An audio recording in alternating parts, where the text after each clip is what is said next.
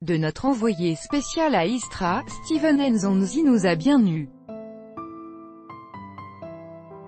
Vendredi matin, en conférence de presse, le milieu de l'équipe de France avait souri quand on avait évoqué l'idée d'aller gratter une place pour le troisième match face au Danemark lors du match d'entraînement de l'après-midi contre les U19 du Spartak Moscou.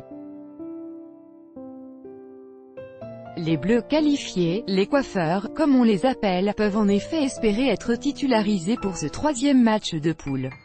Sérieux jusqu'au bout, cette fois, non, ce petit match, il est important pour l'aspect fitness, avait balayé Nzonzi. On ne pense pas à gagner notre place, ça nous avait paru bizarre, déjà parce que les grands naïfs que nous sommes pensions que chaque entraînement était une occasion de montrer qu'on pouvait débuter. Et puis la perspective de jouer un match de Coupe du Monde doit quand même déclencher un petit truc à l'intérieur de soi. L'opposition de l'après-midi nous a rassurés. On ne s'était pas trompé.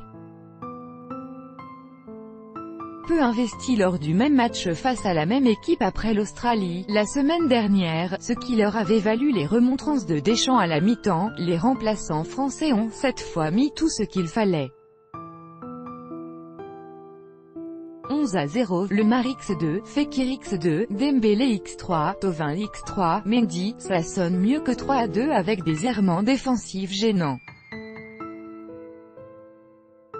On soupçonne quand même les jeunes Russes d'avoir eu quelques consignes pour revoir à la baisse leur engagement dans les duels, eux dont l'impact avait surpris, voire agacé, la dernière fois.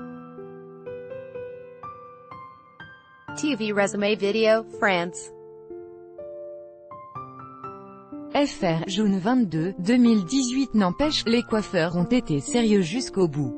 On aimerait tous commencer un match de Coupe du Monde, avait tout de même lâché Nzonzi devant la meute.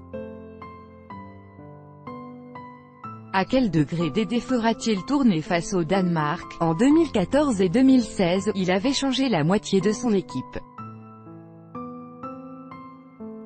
Un aspect est à prendre en compte, la menace de suspension pour deux cartons jaunes. Matuidi, Pogba et Tolisso sont concernés. La remise à zéro ne se fera qu'après les quarts de finale. Allez, on termine avec nos paris au doigt mouillé sur les entrants mardi prochain, Mendy, Sidibé, Lemar, Tolisso, Dembélé.